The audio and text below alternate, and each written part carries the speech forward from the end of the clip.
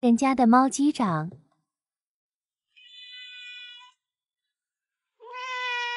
我家的猫击掌。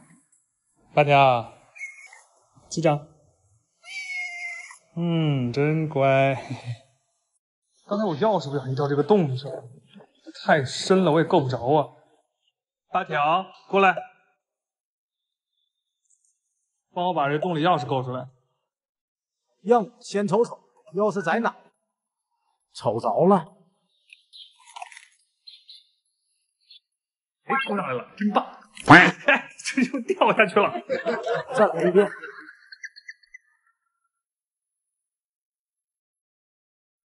八条真棒，这个掌。今天带八条出门的时候，看到一只蜜蜂，然后八条就，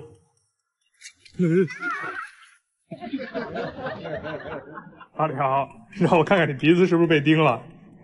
让我看看鼻子咋了？不给看。让我看看呗，让我看看，看看你咋了？让我看看，看看鼻子怎么了？你别跑，我看看。捂着鼻子干啥？你没脸见人了吗？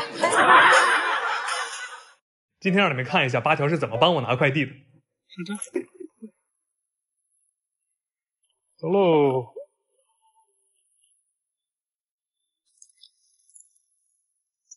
到驿站了，取完快递，接下来的工作就交给八条了。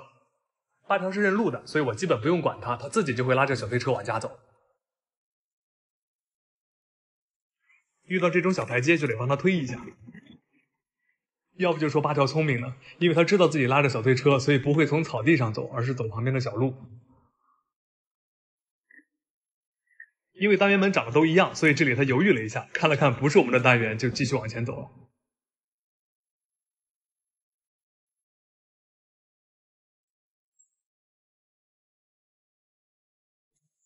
就要到家了，明显八条开始加快脚步了。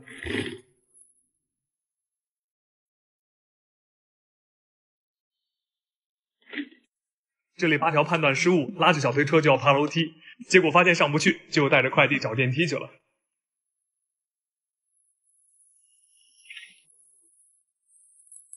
帮他按一下电梯，到家喽，嘿嘿。完了，八条又跟咬我一口爬屋顶上去了。这会儿不把他抓住，待会儿就得满小区追着他跑。八条，过来，快点回来。这会儿用正常声音叫他已经没用了。八条，快点回来。八条。八条，过来，哎，真乖，对，快回来，啊，真乖，你他妈的，你死定了，非得夹着说话才搭理我是吧？自从上次咬我一口，帮我把大壮找回来，我就明显感觉猫的智商一定是被严重低估了，所以这几天我一直在努力教八条说话。吃，吃，要吃啊？吃。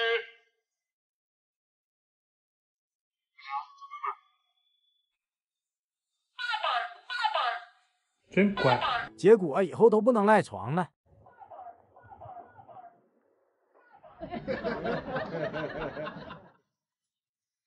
你干什么？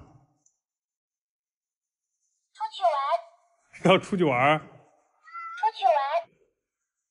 行，我带你出去玩。我去，这外面怎么回事？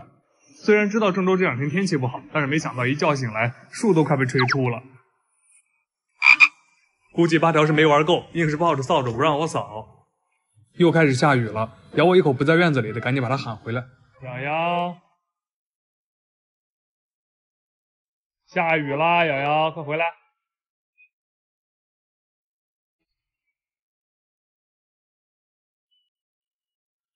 哎呦，叫你，你又去哪玩了啊？再给爱心小屋里加点猫粮，好让那些小流浪们过来吃。八条，下雨了，快跟我进屋。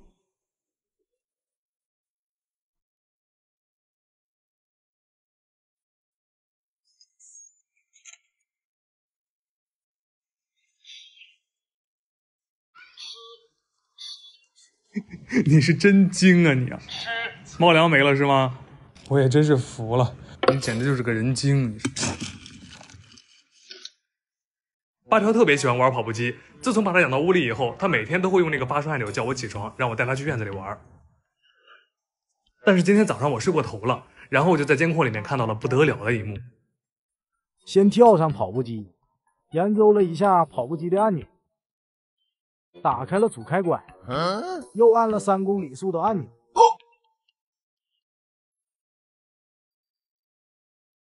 看到跑步机运行了，就跳下来，先试探一下，然后你永远也想不到，你睡懒觉的时候，你家猫已经开始卷你了。烦死了！最近买了个摄像头，打算看看八条的视角。最开始摄像头是放在八条的后背上，因为不好固定，画面很容易歪掉，而且抖得厉害。所以我就求助了老妈的针线活，把八条的背带做了个改装。改装完以后是这样的，给八条穿上试试看，是不是还挺帅的？接下来看看八条的视角吧。先是叫了我一声，然后跑向交流按钮。出去玩？出去玩啊？好吧。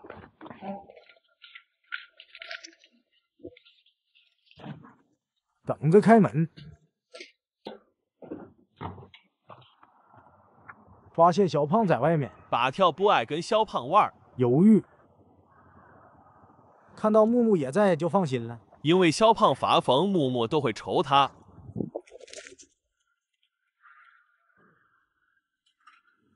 先巡视一圈，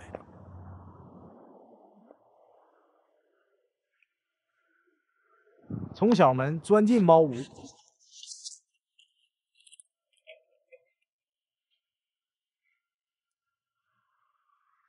检查猫粮碗。这里没有吃，而是用鼻子仔细的检查，发现冻干被挑完了，生气，因为屋里他的冻干也被挑完了，秧子出来玩，目的就是要来挑冻干。虽然冻干没了，但还可以吹空调。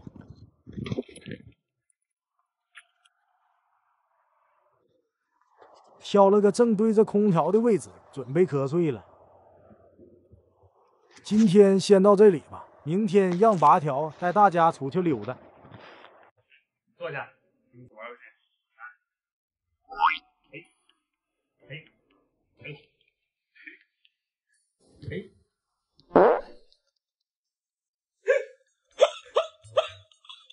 你认赌服输。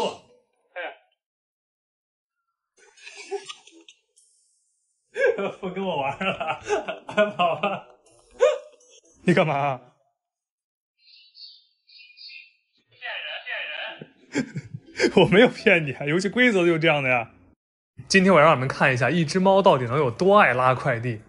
八条现在在那边坐着呢，我不喊它，也不说话，就看看它自己会不会过来。哦。看见没？我可没逼他，每次拿快递他都特别积极。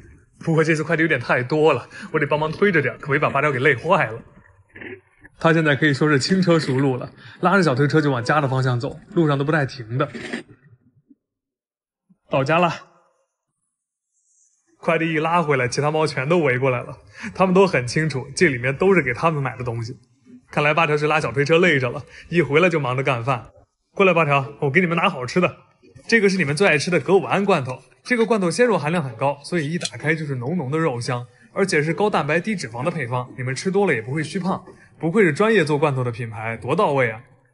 最后再给爱心小屋里也整上，有好东西就得给小流浪们也分一点，这样他们在过来的时候就有美味罐头可以吃了。挑战全网最聪明的小猫，大条把垃圾桶打开。对了大条现在几点了？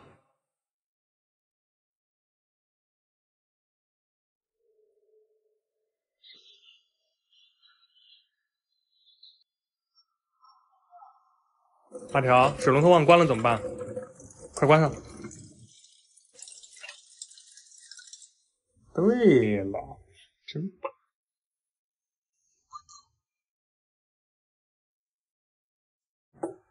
对啦，八条真棒。吃，谢谢谢。干嘛？你想干什么？想出去玩，还是想吃东西？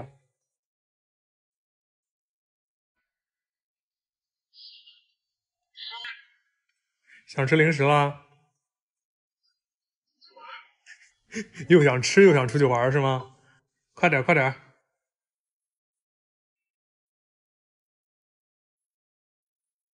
出来正好看到瑶瑶的前女友在屋顶上，给她喂个罐头。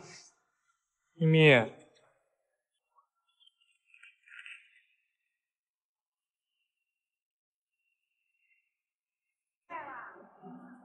感觉这个前女友好像有点长胖了呀。哎，不对，她这这到底是怀孕了还是胖了？啊看了一圈还是不确定，得再观察观察。主要是瑶瑶跟厚脸皮子都给她绝育了，要真怀孕的话也不知道是谁的。小母猫在屋顶上吃罐头，瑶瑶在门头上坐着看着它，这画面还挺和谐的。到了晚上，我发现我院子门头上多了四个小灯泡。瑶瑶，你这是跟你前女友一块帮我看家呢？啊？之前说过，给厚脸皮子绝育以后，就正式收养它了。咱们院的猫都有定位器，所以也得给它安排上。八条，我们出去找厚脸皮子，给它戴脖圈吧，好不好？不想去。那厚脸皮子没脖圈遇到坏人怎么办呀？听话，咱们去找他，好吧？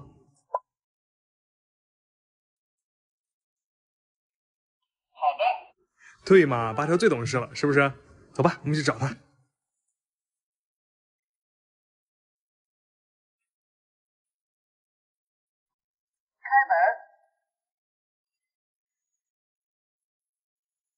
嗯，瑶瑶居然跟厚脸皮子在一块儿。瑶瑶，你干嘛呢？你在看着厚脸皮子吗？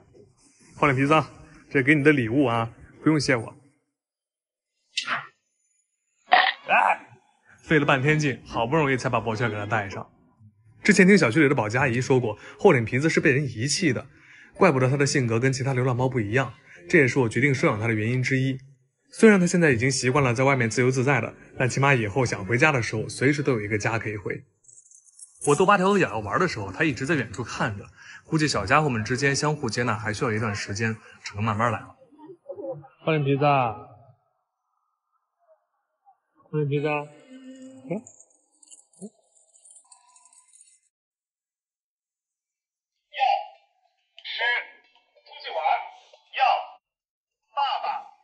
啥都要，你个小猫咪怎么那么贪心啊？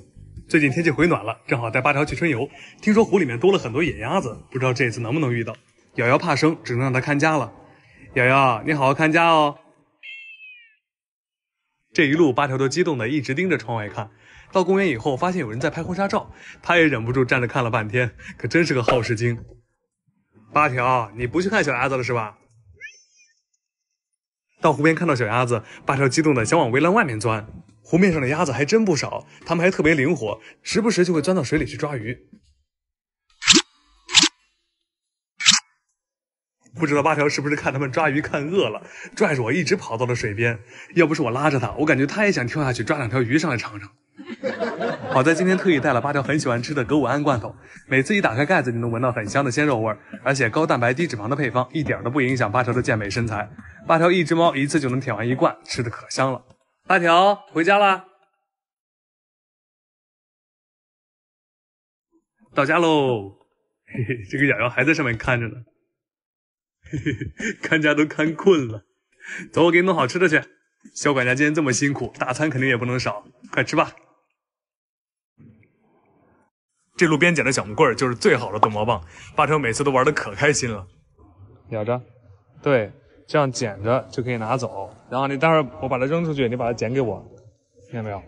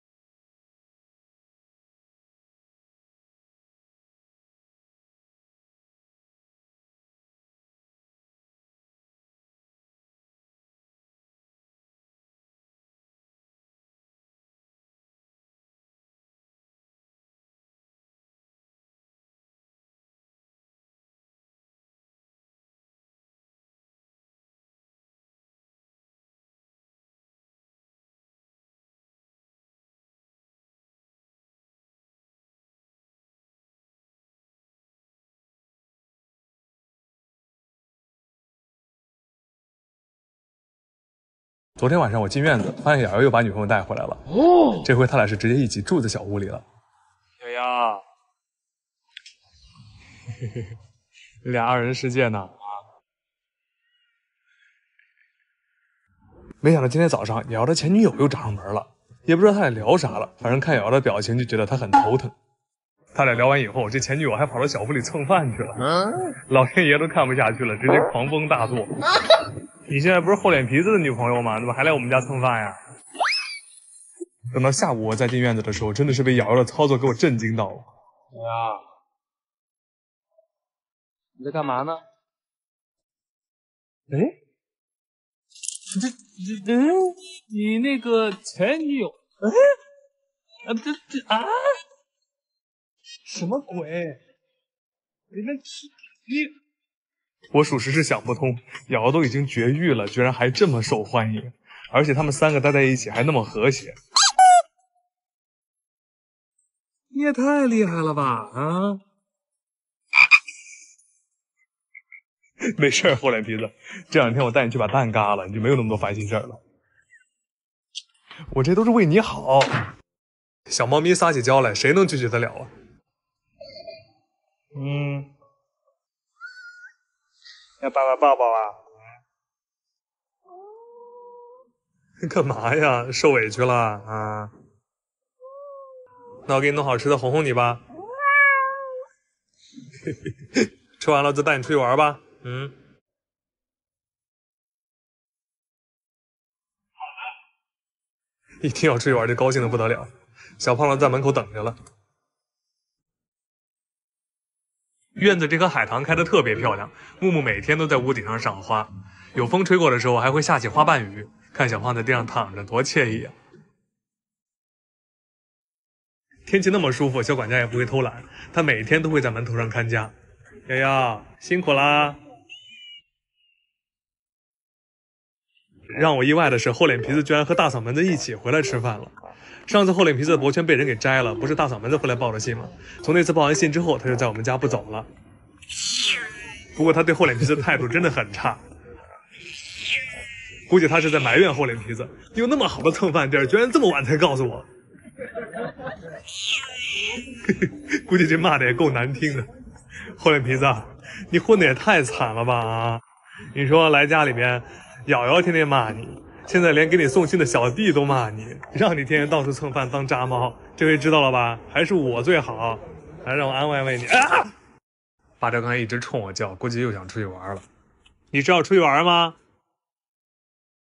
要，是的。出去玩可以，不许打滚啊。好的。开门，开门。八条每次出门都急得不得了，他一出来呢，大壮也跟着出来了。不过这个大壮，我给他开门他不走，偏要飞檐走壁，可能他觉得自己这样很酷吧。晒太阳的时候，几只猫都在我旁边，唯独没见八条。找到他的时候，发现他在草丛里打滚。八条，你还专门给我躲在里头打滚？里头土都是湿的，我的天！你看像弄的，我要扇你！脏死，脏死，脏死了！不许玩了，回家！快点进来！慢慢悠悠的，真是个熊孩子。你真是脏死了，一天天就知道脏，弄得太湿了，得用我的莱芬高速吹风机给它吹吹。这个风力特别大，干得很快，还没啥噪音，给八条吹也不会排斥。平时我这个长度的头发一两分钟就能吹干，妥妥的懒人速干神器。内置智能温控芯片，不用担心过热，用起来更放心，还能释放两亿负离子，吹出来的毛发很柔顺。以后不让你出去玩了，你就是个小骗子。不是不是不是，咋的？你不是小骗子吗？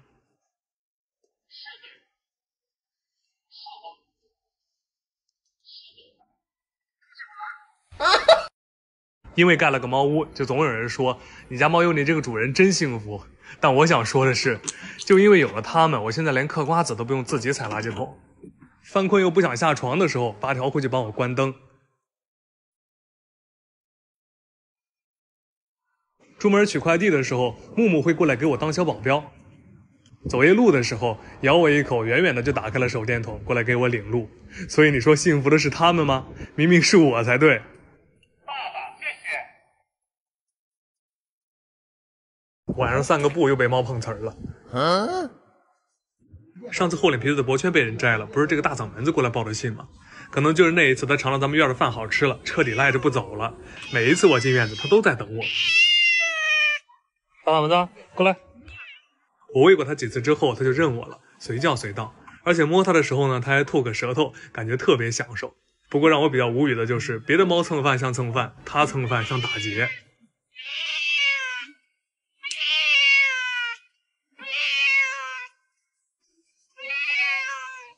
晚上我带瑶瑶散步的时候，它还过来拦我的路。哎呀，你撞到我了，快赔罐罐。你把瑶瑶都吓跑了。然后他就一路一直跟着我回到家，还直接跳到院子里来了。八条他们呢，居然也不凶他。看他一直扒拉猫窝的窗户想进去，我就打算教他用猫门。大门子，过来，你看这个门是可以打开的，他就能进去了。你试试。没懂。瑶瑶，你给他示范一下，来，进去，你进去。对呀，有了瑶瑶的示范，大嗓门子就明白啥意思了，然后就从猫门钻进去了。这猫跟猫之间真的是有区别。厚脸皮子每次回来都挨骂，这大嗓门子都进猫屋了，其他猫也没有凶他。第二天一早，我发现这个大嗓门子居然跟瑶瑶一起在院子的门头上看家。不过这个大嗓门子实在太能唠了，他那张嘴叭叭的一直不停，能看出来瑶瑶对他真的很无语。真烦人。嗯，让我看看蛋蛋还在不在？嗯，滚！来我们院蹭饭都得嘎蛋，不信你问瑶瑶，对吧？瑶瑶，你准备准备啊，过几天就带你去嘎。今天要翻新院子里的猫爬柱，再给猫屋添置点新家具。让八条拉了一车麻绳回去缠猫爬柱用，他这拉车的技能估计把小狗都看呆了。八条，你快点儿！你看我这车比你拉的多多了，我还比你走得快。到家喽！这两天刮风，院子里吹的全是落叶，得先打扫干净。之前做的猫爬柱，瑶他们都特别喜欢，已经给玩烂了，现在得给它翻新一下。第一步是要把之前固定的钉子拆下来。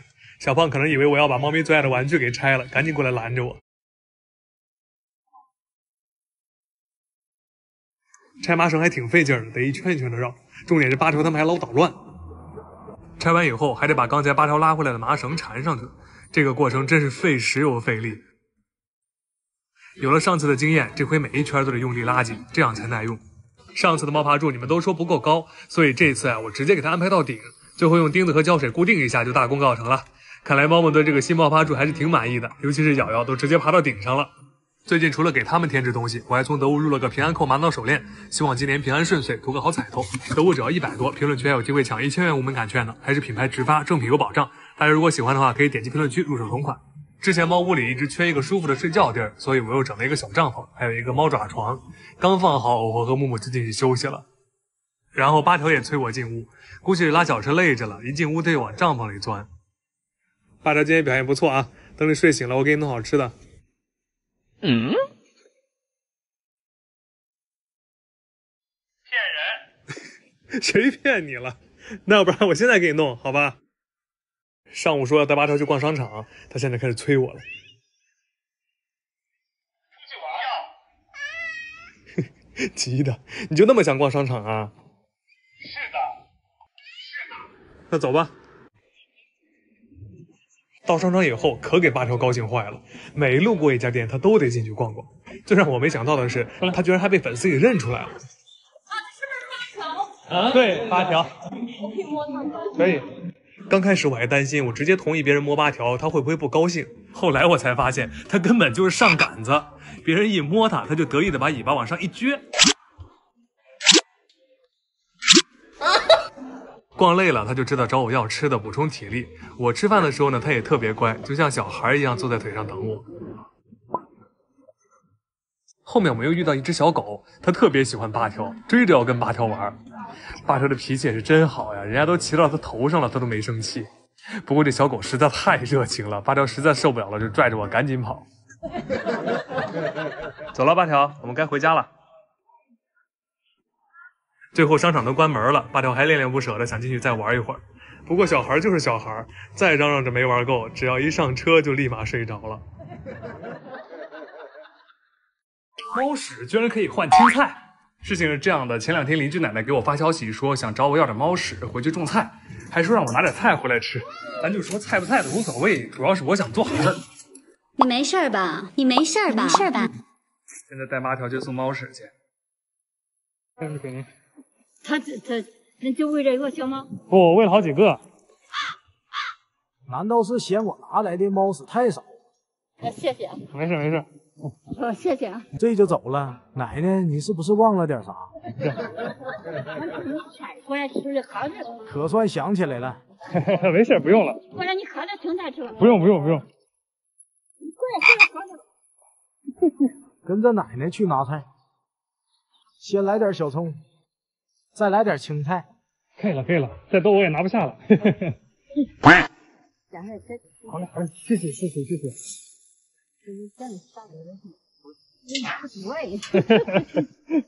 走了，八条，快走，还赖着不想走，走了。太开心了，真是收获满满的一天。见过洗澡这么享受的小猫咪吗？下午带八条在小区里看小朋友玩水，结果一不小心它就湿了。然后我就赶紧把它带回来洗澡，看他那小表情，好像在说把服务都给爷安排上。再来个头部按摩，小玩具也得安排上。好了，别玩了，把头抬起来冲干净。也太享受了。八条可能真的觉得自己是条狗。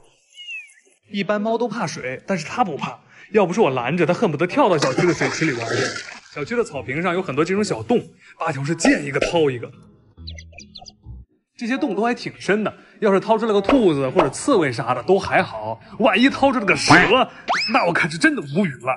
换只手继续掏，光这些洞它都能玩整整一下午，玩累了就跑到旁边树底下歇着。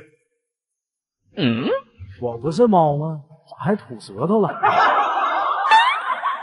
前两天晚上，我家狗抓了个刺猬回来，我打算第二天白天帮它检查下身上有没有蜱虫，然后再放它回去。第二天，狗子兴奋地让我快去看看刺猬。哎呀，这笼子让你造的！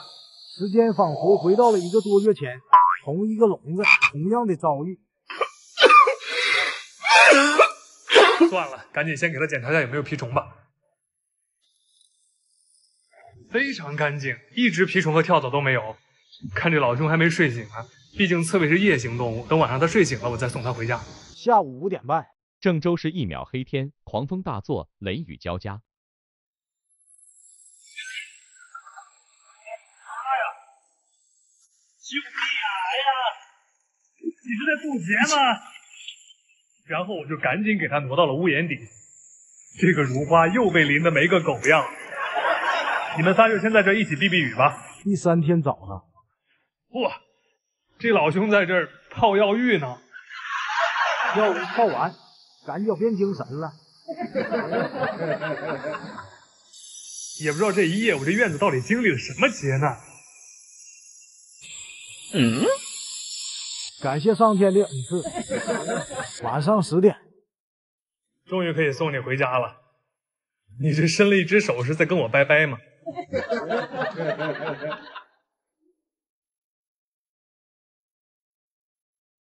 好了好了，拜拜，快走吧。有缘再会。院子里来了个新客人。嗯，你搁这急啥呢？啊，小胖，看这狗子急的。啥呀？有啥？我看。嗯。一只刺猬，我比狗子还激动。刚才还在这儿，没了呀？找了一圈，一无所获。本来都打算放弃了，万万没想到，你那嘴里叼了个啥呀？嗯，哎，你怎么把刺猬抓过来了？哎呦我的妈！你把它叼哪儿去？哈哈他他叼了个刺猬，你这不扎嘴吗？你叼着刺猬就往家跑。等我开门，等我开门。啊！被咬伤了。放放放，小胖，松松嘴，小胖，松嘴，松嘴，松嘴，松松松。哎，对对对对。好好好好好。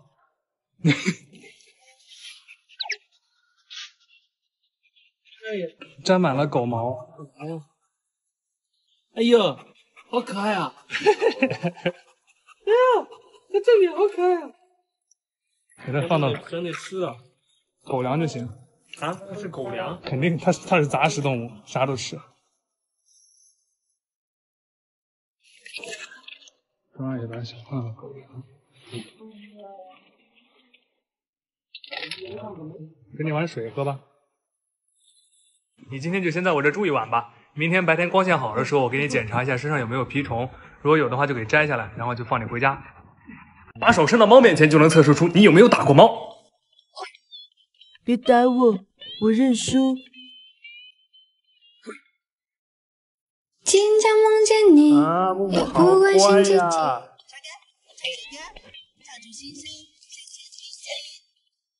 是我的梦想。到了，抱歉。